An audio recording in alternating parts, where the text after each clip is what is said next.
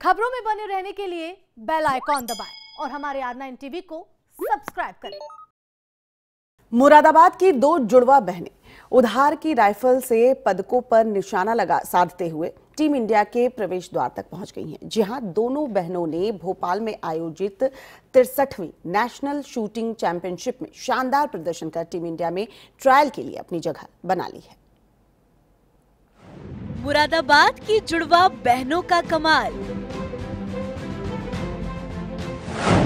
उधार की राइफल से पदक पर निशाना।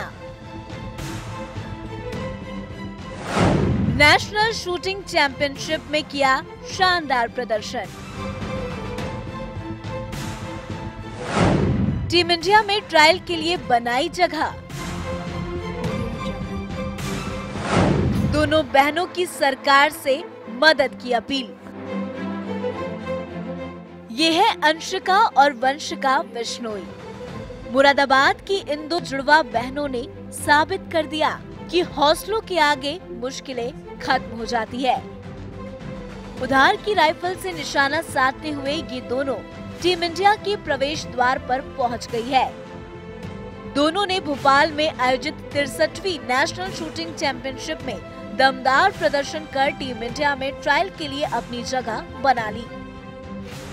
ये अपने कोच मुकुल टंडन की राइफल से अभ्यास और प्रतियोगिताओं में हिस्सा लेती है। हम लोग अभी thirty sixty three national shooting championship खेल के आए हैं भोपाल में। अभी तो हम लोग को सबसे ज़्यादा दिक्कत राइफल की आती है। राइफल और किट, ना तो हमारी किट भी हमारी नहीं है राइफल भी हमारे मिस्टर, सर है, मिस्टर मुकुल रन्ना उनकी है। फ़िलहाल हमने यही सोचा है कि अपने प्रैक्टिस को बढ़ाएँगे, क्योंकि ट्रायल्स है और जितना अच्छा परफॉर्मेंस हम देंगे, वो वहाँ पे नोट किया जाएगा। और हम लोग अपनी एक्सरसाइज बढ़ाने वाले हैं और अपनी डाइट पे भी बहुत फोकस है हम लोग, हम लोगों का। दोनों जुड़वा खिलाड़ी बेटियों के पिता, राजीव बिश्नोई का कहना है कि उनकी बेटियाँ बेटे से कम नहीं। उनकी तरक्की और उनके खेल के लिए वो कुछ भी करेंगे।